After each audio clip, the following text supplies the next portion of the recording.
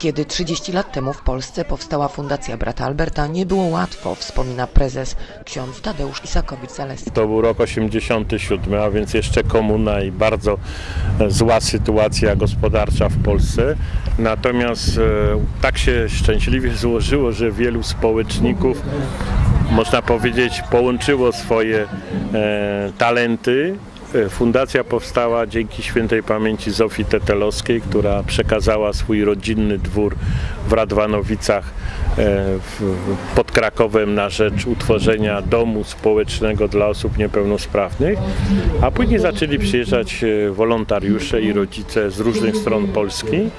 Powstały filie, mamy ich w tej chwili 33. Podopieczni WTZ Przytulisko przygotowali na uroczystość występ artystyczny, na który zaproszono lokalnych samorządowców i przedstawicieli jednostek współpracujących oraz wspierających Fundację Brata Alberta. Jak ja zaczynałem działalność z osobami niepełnosprawnymi 10 lat temu, stowarzyszenia jak zakładaliśmy, w tym układzie to było tylko głównie Przytulisko i Kamelon i było tu gdzieś koło 50 osób. Teraz mamy w powiecie e, ponad 200 osób i już brakuje miejsc e, z tymi osobami, czyli myśmy te osoby wyciągnęli z domów, które były zamknięte za kratami, można powiedzieć to w ten sposób. Teraz zaczęło się to otwierać.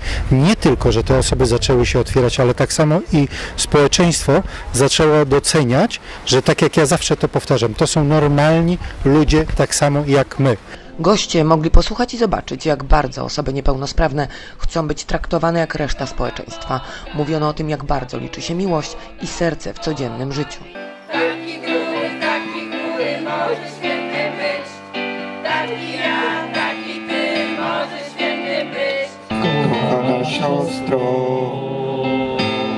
Nie wiem kim jesteś, nie wiem gdzie żyjesz, lecz ja chcę dla Ciebie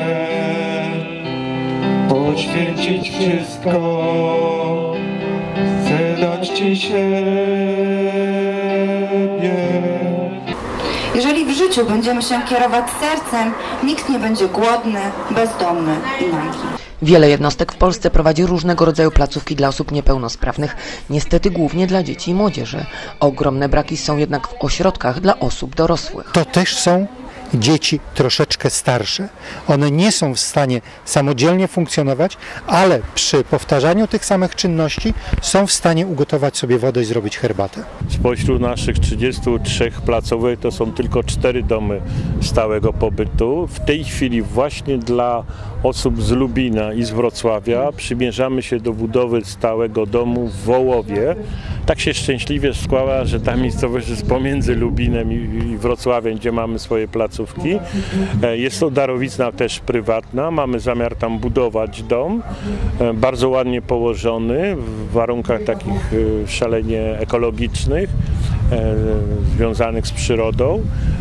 No oczywiście jest to wielkie zadanie, niemniej jednak ja tu świetnie rozumiem rodziców, że dla nich to jest sprawa numer jeden, bo tak było też na początku, kiedy rodzice się pytali, no dobrze, są, te, jest terapia, obozy, katechizacja, no ale co będzie dalej po śmierci mojej, tak? co się stanie z tym dzieckiem.